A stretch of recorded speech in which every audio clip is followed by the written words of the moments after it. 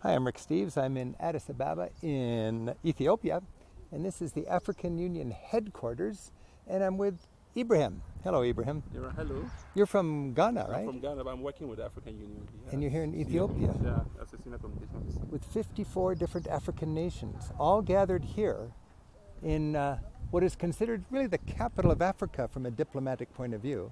Yeah. And what is the purpose of the African Union building or the African Union uh, organization? Well, for now, it used to be the Organization of African Union that used to fight for political independence, but now with change of dynamics in development, it has become the center for development of Africa. for It- solving Africa's big problems. just- yeah, so the- when it was started, it was five countries that were not um, colonies of Europe, and that was back in the yeah, uh, 1963. 63. Yeah. Now all of Africa is independent, Yeah. and you have big challenges: yeah, we are members of- corruption and conflict.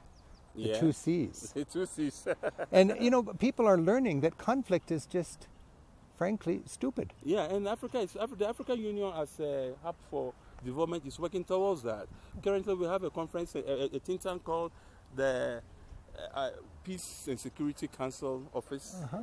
here donated by the German government, and that discusses issues about conflict. So warring countries come together there to try to sort it out Yeah. with pressure from the African, African Union. Union. Because Ethiopia and Eritrea, they just decided no more war. No more war. After 20 years. Yeah. And they're kind of going, what's not to like about that? Yeah, they even have now. Ethiopia has a flight that that uh, Ethiopia Airways flies to Eritrea, so This is a far- great improvement. So Africa is working together, and that's really a beautiful thing. Yeah, recognizing there's a lot of work to do, but corruption and conflict. Yeah. Two things to tackle, and the African Union is doing that. Yeah, this year the African Union launched the anti-corruption crusade uh, involving all the countries, and they have an advisory board that advises on corruption in Africa. Well, I would just like to say best wishes to you, and thanks for your work. Thank you All very right? much. Bye You're bye.